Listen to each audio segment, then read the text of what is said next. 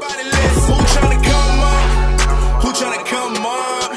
Who tryna come up, Lord? Who tryna come up? Who tryna come up? Fighter Show Report, we live here with man Hot Rod. What's good with you, man? Man, not much. Relaxing here, enjoying the fights. I hear that, bro. Now listen, I'm gonna cut straight to the chase because you already know. Yep. You got Rob, but that's we're under the bridge, right? Yep. So we're moving forward. What's next for you, bro? I have a date. Uh, I don't have a date, but August 29th, uh, uh, early, late August, or first week of September on ShoBox. That's what that's what we're looking at, and we have two two opponents, Lenin Castillo or Travis Peterkin. That, that's what they that's what they threw at me. So I'm just waiting. I'm just waiting on an official date. Now, champ. Now, if you believe in such a thing as a moral loss Yeah. or looking good in the loss, Uh-huh. do you feel that's what benefited you most from that Marcus Browne fight? Uh, my stock went up, his went down. You know, uh, I showed heart. Uh, I was their fight. I gave an entertaining fight. So, other than the the that I got on my record, I didn't really lose. In my heart, I didn't. In the fans' uh, eyes, I didn't lose. So, all in all, I really won. I actually won won from that fight. Other than the loss. So, champ, being from St. Pete, man, coming from the Burg, we doing a lot of big things here in Florida, man. It's good to see guys like you watching some good prospects in the. You saw Keith do his thing a few weeks ago. You got Eric moving over in Orlando doing his thing. Like, let the whole world know what we got going on here, because I think for some reason they don't really feel like we belong.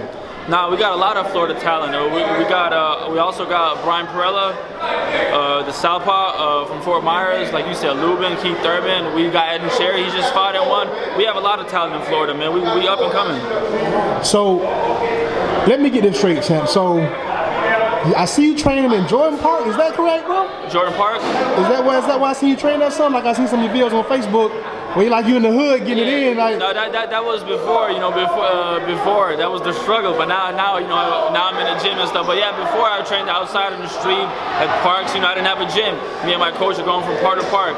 But you know, now I'm here. I'm, I'm, at, I'm at the top.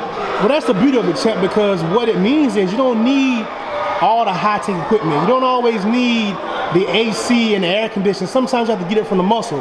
And seeing those old videos of you really just brings about a different light because a lot of people don't really know the true story of Hot Rod. Like a lot of people just think he just showed up, Yeah. look good on the camera, and you fight good, but they don't know that you really had to hustle to get here. Yeah, no, I was sparred in the winter, in the outside, in the cold, in the parks, uh, going gym to gym just for sparring. But you know, I trained, I trained at Lake Vista, I trained at uh, Childs Park, I trained a lot of parks, you know, and they got me, where it got me to right here, right now.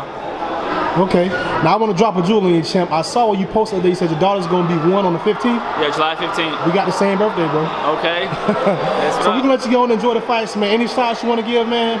I just want to give a shout out to all my fans. Uh, thank you for supporting me. And uh, my next fight, I'm gonna be better, stronger, smarter, faster. And just tune in. This fight ain't going the distance. The next fight, and it, the next fight should be 10 rounds. It ain't gonna be eight. This, is like the Marcus Browne.